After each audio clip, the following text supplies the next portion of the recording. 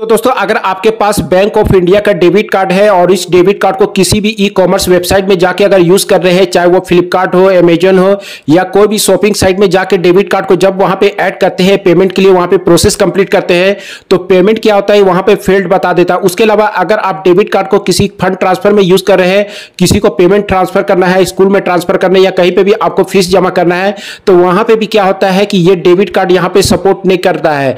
तो इसी के बारे में बताने वाला, अगर आपको ये प्रॉब्लम देखने को मिल रहा है तो डेबिट कार्ड फैसिलिटी को कैसे इनेबल कीजिएगा?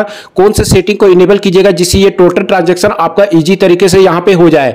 मैंने यहाँ पे पहले एटीएम मशीन से बता दिया है कि एटीएम मशीन से कैसे इस फैसिलिटी को इनेबल करते हैं। अगर आपने उस वीडियो को नहीं देखा तो उस वीडियो को भी देख सकते हैं। और इसमें मैं आपको बताने वाला हूँ मोबाइल बैंकिंग के थ्रू मोबाइल बैंकिंग के थ्रू कैसे आप यहाँ पे कर सकते हैं। तो सबसे पहले आप प्ले स्टोर में जाए और प्ले स्टोर में जाने के बाद आपको सर्च करना है bank of India bank of India का बी मोबाइल बैंकिंग एप्लीकेशन को सबसे पहले आप इसको इंस्टॉल करें इंस्टॉल करने के बाद इस एप्लीकेशन को आपको यहाँ पे ओपन करना है। जैसे ओपन कीजिएगा, सबसे पहले लैंग्वेज को आपको यहाँ पे चूज़ करना है। टर्म एंड कंडीशन यहाँ पे मिलेगा, इसको सिलेक्ट करना है।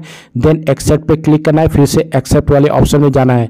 देन उसके बाद रजिस्टर मोबाइल नंबर ऑटोमेटिक यहाँ पे वेरीफाई होगा ओटीपी आएगा और इस ओटीपी को फिलअप करने के लिए अलाउ पे क्लिक करना है। ये ऑटोमेटिक यहाँ फिलअप होगा। देन वेरीफाई ओ पे आपको क्लिक कर देना है। जैसे आप यहाँ पे क्लिक करते हैं क्लिक करने के बाद आपको दो ऑप्शन मिलेंगे। I want view only right का परमिशन और साथ में डेबिट कार्ड का ऑप्शन मिलेगा। आपको क्या करना है?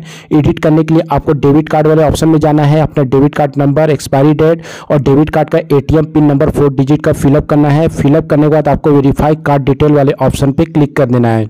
जैसे क्लिक करते हैं, क्लिक करने के बाद आपको सेट एम पिन वाले ऑप्शन में जाना है। देन उसके बाद फोर डिजिट का एक आपको एम पिन क्रिएट कर लेना है, जो यूनिक होना चाहिए। जब एम पिन डाल लेते हैं, डालने के बाद आपको प्रोसीड वाले ऑप्शन पर क्लिक करना है और दोबारा फिर से आपको एम पिन को उसी को फिलअप करना है। देन इसके बाद आपको सेट एम पिन वाले ऑप्शन पे क्लिक कर देना है।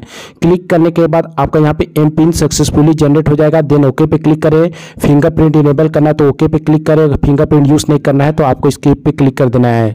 ये करने के बाद आपको यहाँ पे स्किप में जाना है। स्किप में जाने के बाद अब आप यहाँ पे एम पिन देखिए। एम पिन मांगेगा।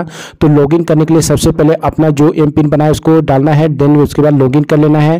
लॉगिन करने के दौरान आपको मैनेज एडिशनल ऑथेंटिकेशन का ऑप्शन मिलेगा जिसमें आईबी पासवर्ड एम पिन और साथ में बायोमेट्रिक का ऑप्शन यहाँ पे देखने मिलेगा। अपने हिसाब से यहाँ पे चूज़ कर सकते हैं।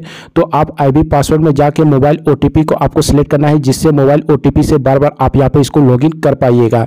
ये सिलेक्ट करने के बाद आपको सेव चेंज वाले ऑप्शन पर क्लिक करना है और ये सक्सेसफुली यहाँ पे ऐड हो जाएगा। देन ओके पे क्लिक करना है। देन उसके बाद फिर से आपको स्किप में जाना और होम स्क्रीन आपका यहाँ पे अलाउ हो जाएगा। और होम स्क्रीन में जो भी आपका यहाँ पे ट्रांजेक्शन हिस्ट्री है, जो भी डाटा है, वो आपको यहाँ पे देखने मिलेगा। देन उसके बाद इस प्रकार से स्कॉल करें। स्कॉल करने के बाद आपको माई कार्ड वाले ऑप्शन में जाना है, माई कार्ड वाले ऑप्शन में जाने के बाद आपका जो भी डेबिट कार्ड है, वो डेबिट कार्ड आपको यहाँ पे सो जाएगा। अगर डेबिट कार्ड एक्सपायर रहेगा तो आपको यहाँ पे डेबिट कार्ड फेल का ऑप्शन मिलेगा। तो अपना डेबिट कार्ड देख लेना है और उस डेबिट कार्ड को आपको यहाँ पे क्या करना है, सबसे पहले सिलेक्ट कर लेना है। तो अगर आप इस प्रकार से सिलेक्ट कीजिएगा, ये डेबिट कार्ड शो होगा। नीचे में आपको सेट लिमिट चैनल वाले ऑप्शन पर क्लिक करना है और क्लिक करने के बाद आपको डोमेस्टिक इंटरनेशनल का ऑप्शन मिलेगा। डोमेस्टिक में आपको एटीएम विड्रॉ का ऑप्शन मिलेगा, इसको ऑन करना है और डेली आपको कितना लिमिट सेट करना वो यहाँ पे सेट कर सकते हैं। ई कॉमर्स का ऑप्शन मिलेगा ई कॉमर्स को ऑन करें और लिमिट को आप यहाँ पे सेट कर सकते हैं। उसी प्रकार से आपको मर्चेंट आउटलेट का ऑप्शन मिलेगा। इस प्रकार से आप यहाँ पे सिलेक्ट कर ले अमाउंट को देन आपको सेव चेंज पे क्लिक करना है। ये क्लिक करने बाद यहाँ पे कार्ड लिमिट सक्सेसफुली अपडेट हो जाएगा। उसी प्रकार से अगर आपको इंटरनेशनल अगर सेट करना है तो आपको इंटरनेशनल का भी ऑप्शन मिलेगा। इसमें भी आप यहाँ पे सेट कर सकते हैं। और ये करने के बाद डेबिट कार्ड से जो भी आप यहाँ पे पेमेंट करते हैं ई कॉमर्स में यूज़ करते हैं, वो आपका पेमेंट सक्सेसफुली हो जाएगा।